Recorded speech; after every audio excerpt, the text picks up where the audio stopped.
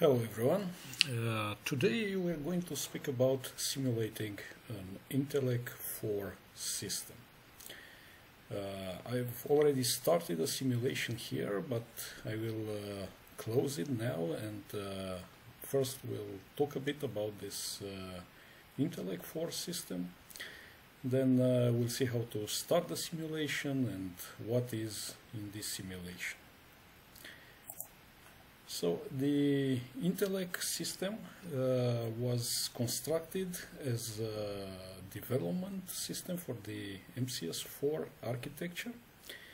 I have I have here a brochure uh, that actually covers first the Intellec 8, but if we scroll down, uh, then we also see information about uh, Intellec 4. So this is the one that we're going to simulate today. Uh, as I said, it's a, computer uh, designed for prototyping MCS4 systems. Uh, it was offered as a complete microcomputer system with 5 kilobytes of program memory, data storage, I.O., teletype interface, and so on. Uh, obviously, it's based on the Intel 4004 CPU. Uh, we already discussed about the 4004 CPU, also about simulating it. There are already at least two videos available for this. So if you haven't watched them, then you should probably pause this presentation and see the other two videos. Okay, uh, so assuming that you already watched those, uh, you know that 4004 CPU is uh, a 4-bit CPU. However, it supports instructions uh, of either 8 bits or 16 bits, and it has a 12-bit address bus. Now, uh, since we already covered the simulation of the CPU, what we need uh, to simulate an Intellec 4 system? Well, in addition to the CPU, we need uh, first the front panel. we also need some content in the memory, especially in the read-only memory. As previously discussed, uh, the 4004 CPU also requires uh, supporting ICs in the form of uh, special uh, ROM chips and RAM chips and these actually see the instructions and execute some of them. Uh, also, the ROM and RAM chips offer uh, I.O. ports, so for connecting data uh, we need this, but in the previous simulation for the 4004 we also covered these supporting ICs so uh, for simulating the system uh, it should be quite easy. We need to simulate the front panel uh, make the connections and have a program and it should work okay so um, let's see a bit about the options. Uh, the Intellec 4 uh, system uh, came with optional modules. I'm not going to read through this information because you can access the brochure and read through it. But it's very important to keep in mind that uh, there isn't actually a single uh, Intellec system but uh, there is a base system uh, and additional modules that can be combined to create a system used for particular project. Also, uh, if we look in the MCS4 uh, microcomputer set users manual, uh, on page 9 uh,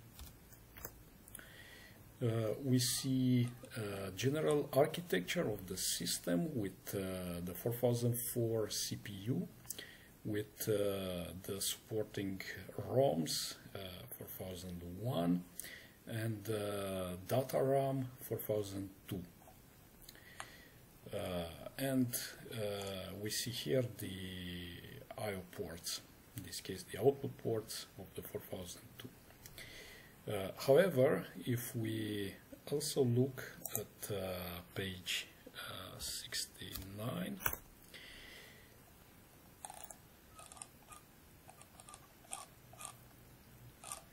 uh, we see some additional schematics uh, for this uh, for different boards that can be plugged in the system. And um, here uh, page uh, 61 of the manual uh, we see the possibility of adding the 4008 and 4009 uh, supporting ICs uh, that allows us to combine uh, ROM, RAM and PROM chips which allows the system to start from ROM, for example, where you would normally have a monitor. Uh, then uh, you could load a program into the program RAM uh, this should not be confused with the 4002 data RAM, which is uh, still present and is different from the program RAM. And uh, potentially you could use PROM. So as I said, depending on uh, what you have installed, what options you have installed in the system, uh, the system may be uh, different from what we are going to simulate. Also, um, you may be interested in looking at the MCS4 assembly language programming manual. Uh, this uh, version that I have here is from December 1973. Uh, and uh, in this one, uh, all the instructions are detailed. So if you are interested in learning how to program for the 4004 CPU, uh, this is very good resource. Uh, maybe in the future I will also make a video about this assembly language. But right now, if you really want to learn how to program for the 4004, then this assembly language programming manual is the best place to go. Uh, I also have here a document with um, uh, SIM4 uh, hardware simulator which is actually a prototyping board. I'm not going into details about it. But at the end uh, of this manual, uh, right on the last page, we have an example, which is a 4-bit AND routine, which uh, actually allows uh, reading from two input ports. Uh, it will uh, make an AND uh, and will uh, output the result uh, on an output port. So this is the basic simulation that we're going to run today. Now, uh, how to run it? Uh, first, uh, we need the um, Java System Simulator project. previously, I've presented how the 4004 simulation works, it's already included in here. Uh, you can either download the source code from uh, GitHub uh, or uh, you can directly go to the tags and uh, download the release. for example, this 101 alpha. Uh, where you already have the Java System Simulator jar uh, then uh, I have a separate project with uh, simulations.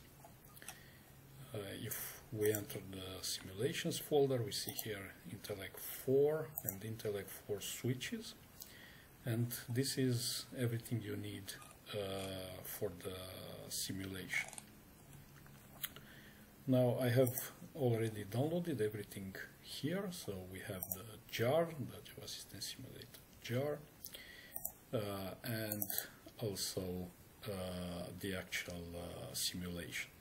Uh, it uh, actually contains a JSON file uh, and the assembly source code, the resulting hex, which is um, the actual program that we're going to run and an intermediate uh, listing file. Now I'm just going to open this one, but I will not uh, go through every instruction. Uh, I've mentioned here uh, the hardware simulator manual that I used for the source code. So this is the actual source code that's on the last page of the manual. The resulting hex file uh, looks like this. I will try to make future video about the hex format. And this is the simulation JSON file. Uh, it starts with a name, uh, maximum simulation steps. You can force the simulation to end after a number of steps, but right now there is no maximum. Uh, you can specify a delay between steps. Currently it's set to one millisecond. Uh, you can uh, specify, for example, uh, zero and let's say one nanosecond. And in this case it will run very fast. Uh, or alternatively, uh, you can specify something like 100 milliseconds, in which case it will run slower. Uh, the speed can be adjusted based uh, on your uh, device. Then we have here the devices that uh, are part of the simulation. we start with the front panel. This is implemented in Java code as Intellec 4 front panel. Uh, at this moment I have not yet created a video about this one, but uh, I will create one very soon. We have the CPU, uh, which is an Intel 4004, uh, also implemented in Java. Uh, this one is covered by previous videos. Then we have ROM device. Uh, this is um, already loaded with uh, the program. Uh, again, there is a video about simulating memory we also have data RAM. Uh, we also have a memory bus uh, and an I.O. bus and a control bus. There are videos about uh, simulating buses. And we have uh, the switches. These uh, are uh, the first set of four switches, the second set of four switches, these are also implemented in Java, uh, and probably I will make at some point a video about this. And uh, finally we have the LEDs, uh, which represent the output. And finally we have the connections. Uh, we have uh, the ROM uh, connecting to the memory bus, the data RAM. here uh, you may wonder how these are connected here or maybe why these are connected here and what are these addresses. But again, please take a look at the Intel 4004 simulation where I mentioned that uh, the 4004 with the supporting ICs are simulated in such a way that uh, memory addresses are mapped to a contiguous space uh, then we have the buses attached to the CPU. Uh, we also have uh, the buses and the CPU attached to the front panel. And finally, uh, to the I.O. bus, uh, we have the switches and the LEDs. Again, in the Intel 4004 simulation video, I described that also these I.O. ports are mapped to a contiguous space. Uh, and uh, we don't need to actually simulate individual uh, ICs. Okay, um, so now we need to open a command prompt here. I already have one. And we execute the jar uh, with uh, the folder uh, containing the simulation. And at this moment we have the Intellec 4 front panel. This the simulation has already started. I can uh, make this window smaller. We also have the buttons and the output uh, LEDs. So now, for example, if I press here the button number 2, here the button number 2, and of course the end uh, will be shown uh, here. If I press also 3, okay, we also see 3. Uh, we can also uh, play with uh, the buttons here. For example, I can uh, stop the simulation. Uh, this is something that uh, you can do on the real system. I can single step I can reset the system. Can uh, start the simulation again. I can stop it. I can uh, for example uh, enable uh, memory access. I can uh, load uh, an address specified here. Maybe you are already familiar with front panels that have switches and lights uh, if not, uh, then it's uh, possible to specify an address here. for example, let's see this address. This is actually address 2 because these are the 12 bits for the address. So here in binary I have 0, 0, 0, 0, 0, 0, 0, 0, 0, 0, 0, 1, 0, so this is 2 then if I press load uh, I notice here uh, on the first row of lights uh, I have the address then here I have the content at this memory location okay you may also wonder why this maybe doesn't look uh, that good. Uh, this is because I've actually used a photo of the front panel.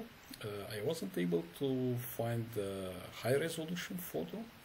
So if anyone has uh, such a high resolution photo of the front panel, I'd be very interested. So please share it in comments or on GitHub. I will try to include it. Um, now for the buttons, uh, you can also place them uh, wherever you want on the screen. Uh, these are just uh, very simple Java windows. As I said, maybe I will make a movie because it's useful to know how it's possible to create additional peripheral devices in the simulation. One thing to mention about the front panel simulation uh, the search feature uh, using uh, these buttons is not fully implemented. But other than that, the rest of the front panel should work. Again, I don't have access to a real Intellec 4 uh, system.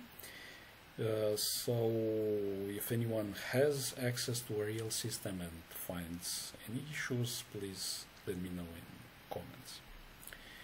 Okay, so thank you for watching and see you next time. Bye.